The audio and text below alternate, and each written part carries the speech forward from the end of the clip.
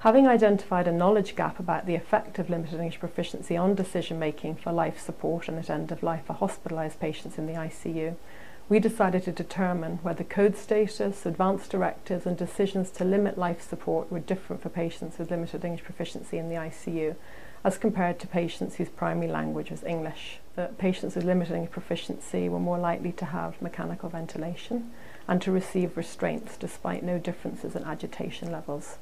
Their hospital stay was also about two days longer on average. The documentation of family conferences um, was twice as high for patients with limited English proficiency. These differences are important and reflect differences in decision making, um, which may in turn influence uh, end of life quality of care. This video content is copyrighted by Mayo Foundation for Medical Education and Research.